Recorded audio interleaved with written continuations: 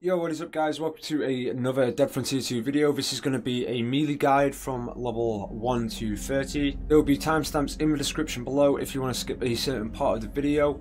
Also, there'll be a couple more links down there. There'll be a link to my Twitch channel where I stream different games every single night. There'll be a link to the official Discord channel for Dead Frontier 2 and also a link to my Discord channel where you can get informed about like the newest videos, newest stuff that we're going to be doing, new type of games playing and stuff like that. So I hope you enjoy this video guys. Let's get on with it.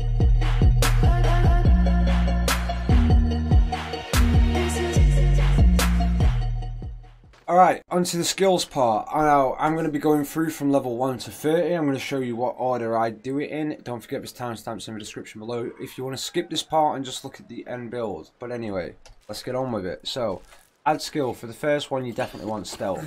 I'm going to keep stealth at 1. It's just so you can get them surprise damage because it's really going to help you out at the start. Now, I'm going to go down and get my melee expert. Now, depending whether you want to be a sprinter or a jogger, it's entirely up to you. Me personally, I'm going to go for jogger because I'm a jogger. Now, we're going to go for da, da, da, brute strength. Then we're going to go for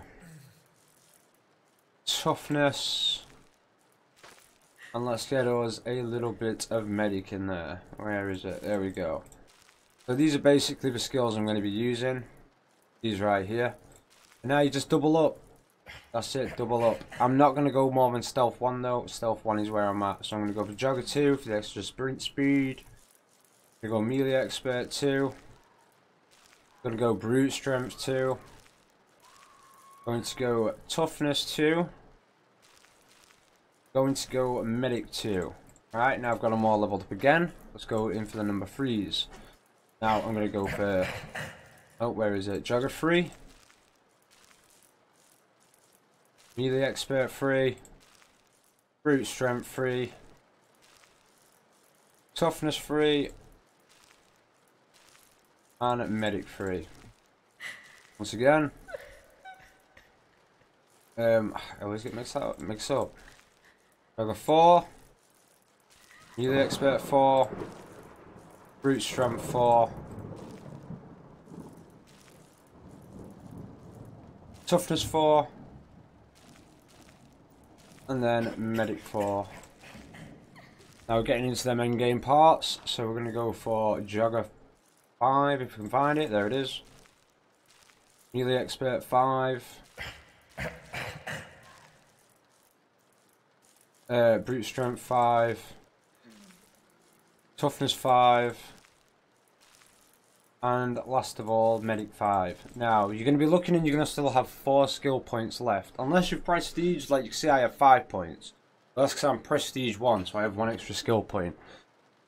But the last 5 is is really where you want to go. You know, like what do you want your bonus 4 skills to be? Do you want to be a looter? Do you want to be a mule? You know, a kickboxer, a lockpicker, anything like that. It's entirely up to you. Me personally, I'd suggest either Hunter, Exterminator, or Thick Skin. Hunter for bossing, Exterminator for just killing infected easier, and Thick Skin if you're going to be bossing. Because immune system's not going to help you. Thick Skin is. Because Fingers has a 100% bleed chance whenever he hit you, hits you. So, you know, you can get that bleed chance down if you really want to. Me personally, I'm going to go Hunter. Hunter. Hunter 3 and Hunter 4. Now I'm going to get lockpicking 1 because I do like my lockpicking. See, that lockpicking skill, you won't be able to have that because if you're level 30 uh, without a prestige, you wouldn't have that extra 1. Because I have the extra 1, I managed to get me lockpicking. But yeah, there it is. So, Stealth 1, Jogger 5, Melee Expert 5, Brute Strength 5, Toughness 5, Medic 5, and then whatever you really want to go up to after that. I went for Hunter 4 because I love bossing. So obviously I do bossing. So there you go. that is my melee build. Right, onto the items. Now items are entirely up to you. It's all like how you want your build to be. Do you want to be really fast? If you do, you want attack speed. Do you want a lot of damage? You go with body damage. You know, it's entirely up to you. Now, I've personally, because I'm going to be doing a lot of bossing, I've gone for jog speed and minus incoming damage. That's basically what this build is all about. Got some knockback in there with some body damage, attack speed. You know, it's, it's kind of a balanced build. Like, I'm not super strong in anything. It's, it's kind of balanced. Well, yeah, let's have a look at what we can do with melee. Now, this sledgehammer right here, this is going to hit for 12.4. Not too bad. Things are going to die easy. That's basically the easiest way to put it. Thing, things are going to die fast.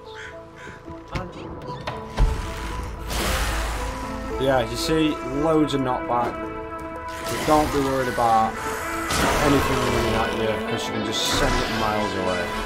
To be fair, I don't even need to turn, I've got that much knockback.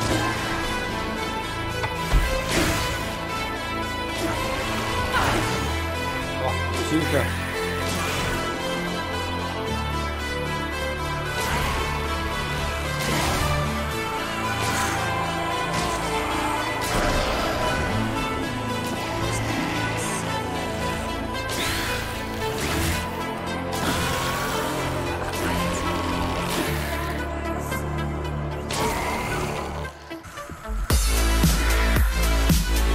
Tangle this push.